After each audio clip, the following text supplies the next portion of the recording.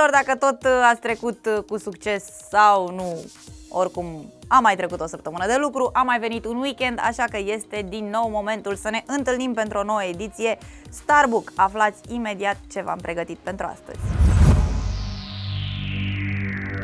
Fără vreo legătură cu subiectul, uh, nopțile astea m-am mai uitat pe la televizor și am văzut că era asistentelor TV nu numai că nu a apus, ba chiar înflorește din ce în ce mai tare, unde nu o să le vedeți sau nici nu o să auziți de ele la Blitz News. Ghinioane pe Casa Sănătății lui Dan Bitman. Abia a terminat circul cu vocea pierdută în urma unei intervenții chirurgicale, dar regăsită, că s-a și operat din nou de această dată, fiind vorba despre o hernie inghinală batovina. Sănătate multă, bine că au trecut cu bine, asta e și rocării plâng câteodată. Ye, ye, ye, ye, Connector și Velea împăcare după șase ani. S-au iubit ca frații, iar apoi s-au certat de la o piesă pe care au cântat-o împreună. Connector și Alex Velea nu și-au mai vorbit de șase ani, pentru că nu s-ar fi înțeles în ceea ce privește drepturile de autor pentru Dacă dragostea dispare. Dacă dragostea dispare, banii n-aduce fericirea. Aia e! Tudor Chirila a stârnit reacții diverse cu cartea sa Exerciții de echilibru, o colecție de cugetări postate de-a lungul timpului pe blogul său personal.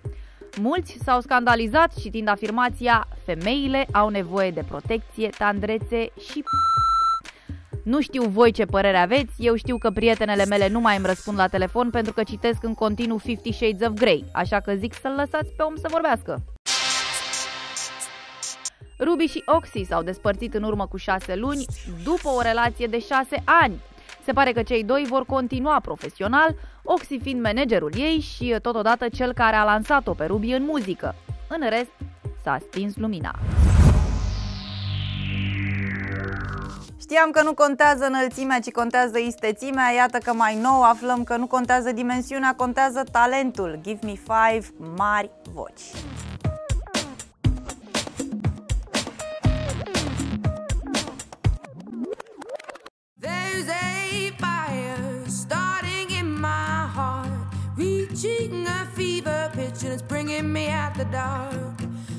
E cel mai de succes produs al britanicilor de la Beatles încoace și vorba lui Jennifer Lawrence e de neoprit.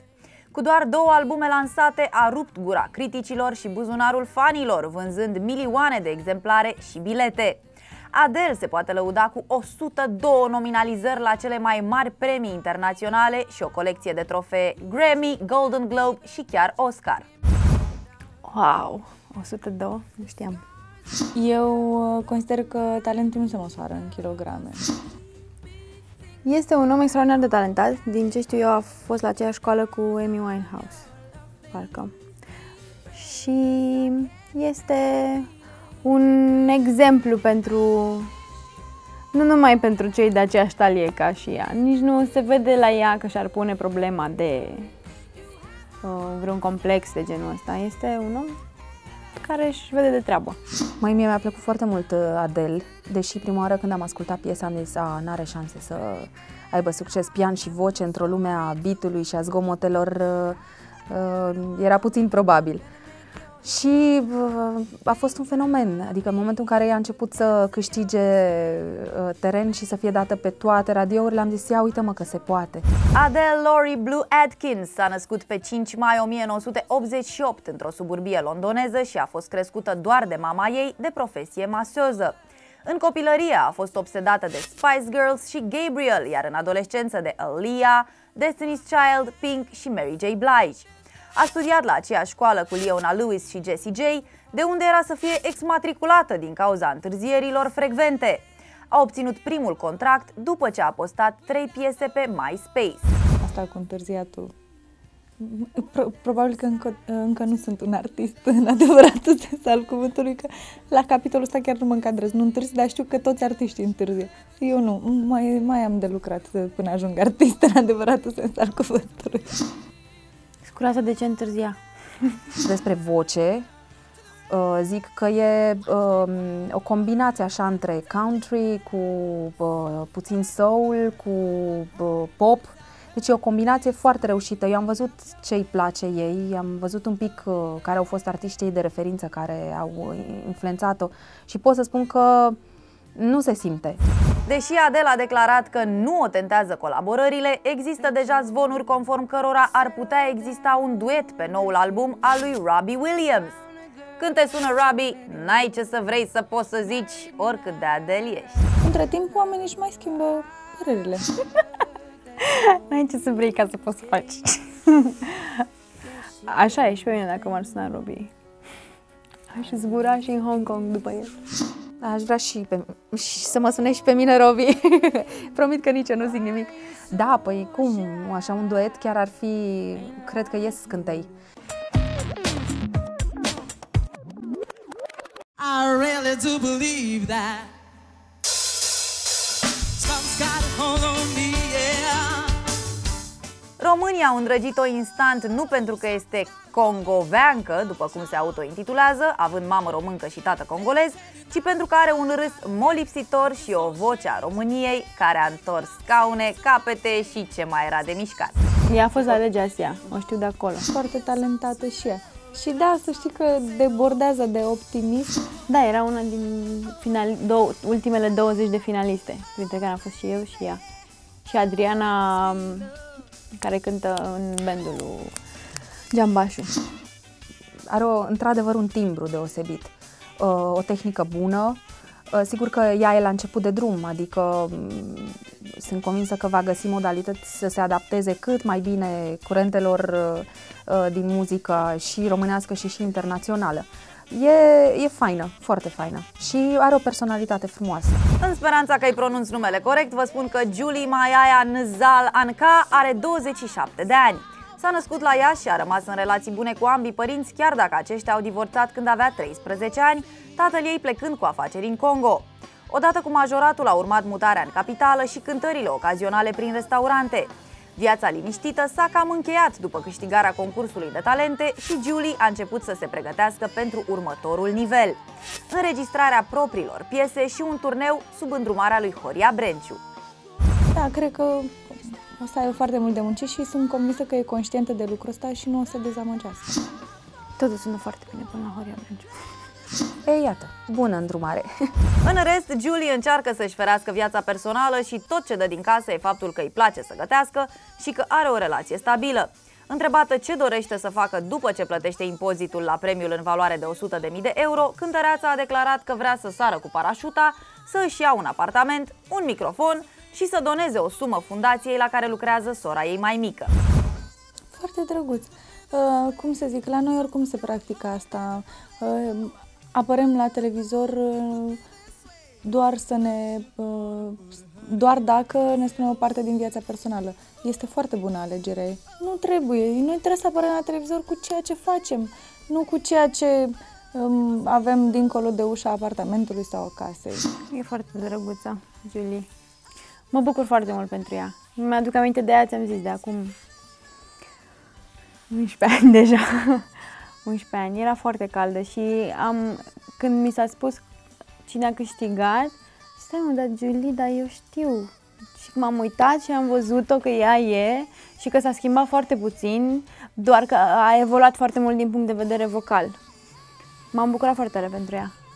Și eu aș face același lucru cu 100 de euro. Aș vedea lumea. E ideea mea. e ideea mea pentru că și mi-e place. Și eu am sărit cu parașuta și vreau să mai fac asta.